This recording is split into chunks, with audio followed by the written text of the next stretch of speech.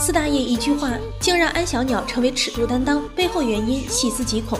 作为《甄嬛传》最强力事业批，安陵容可谓是把升职加薪的职业思想刻在了骨子里。别人为了胖菊的宠爱下药的下药，堕胎的堕胎，都形成一条完整的产业链了。等到了鸟姐这里，不管是吸鸡丸还是羞羞香，只要能增强胖菊的体验感。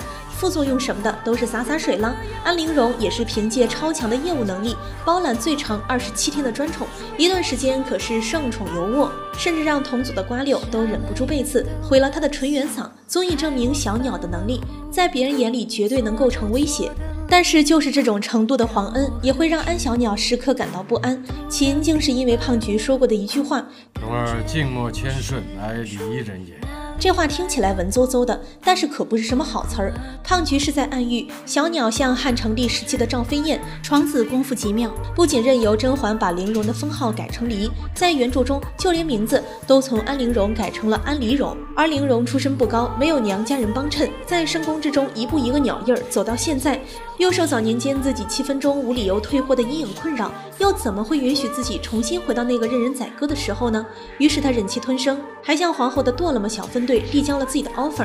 虽然安陵容伏低作小，尽力讨好，很受胖菊喜爱，但是他到死都没想到，作为胖菊的至尊 MP 三，自己竟然也是纯元替身。原著里也提到过，安陵容嗓子倒了之后，像纯元感冒的声音，好好好，这个世界就是一个巨大的纯元。四大爷真的是任何时候都能找到纯元皇后的各种代餐。现在想来，安小鸟这调调，要是放在渣渣龙身上，至少能挣个贵妃回来。看看人令妃，不就是靠着唱跳搞事业，妥妥的成功范本吗？而在四大爷这儿就不怎么管用了。胖菊喜好梅姐姐那种端庄才气，扎龙喜好肤浅花瓶，安小鸟真是生不逢时。反诈代师安陵容为何没有发现手下宝娟是奸细？背后居然另有原因。要说宝娟，那绝对是《甄嬛传》里一个传奇般的人物。作为安小鸟的人生导师兼职场反 PUA 高手，玲珑后期的黑化有多一半的手笔都是出自宝娟。别人都是主子教导奴婢，等到了安陵容这里就不一样了，娟子就占了主导地位，不仅身体力行地培养着小鸟的一言一行，更是把敌进我退、敌驻我扰、敌疲我打、敌退我追的十六字游击战方针运用的淋漓尽致。在安陵容不受宠的时候，直接就是每天一个祸宠小妙招。别人都是认真宫斗的，只有宝娟在玩养成系游戏。而娟子的任务很简单，就是在小鸟爆发的时候做好安抚。作为皇后的眼线之一，宝娟这样怎么不算给皇后筛选后备人才呢？所以安陵容也就不负众望的，在她的指导下，逐步开始黑化了。可小鸟作为后宫中的江户川柯南，到处发现真相，甚至在皇后的只言片语中发现了皇后杀了皇后这等。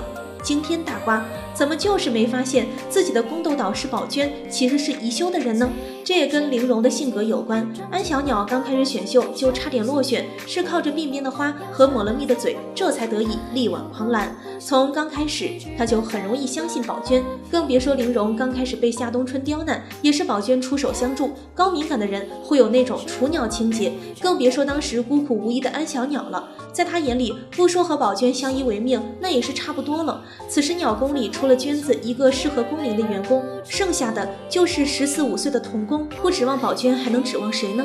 可以说宝娟是占尽了天时地利。那么菊青的出现就应了人和这一条件。是的，就算宝娟行事再缜密，那也有遗漏的时候。这个时候就需要一个合适的人选来背这个黑锅。也是皇后为了更好的挑拨安陵容和甄嬛站队的关系，甄嬛给安陵容分配的丫鬟菊青就顺理成章的成了挡箭牌。正巧那几天小鸟和甄嬛受辱回来，玲容开始天天扎嬛嬛的小人儿，还吩咐宝娟别动自己的床铺。这不就正好把锅甩在老实本分的菊青身上，也顺便泼了甄嬛一身脏水。只能说宝娟这个人太厉害了。作为一开始就分配的眼线，她绝对是宜修那边的王牌选手。这一手反向 PUA，再加上她不停的引导，真不怪安小鸟发现不了她的真实身份。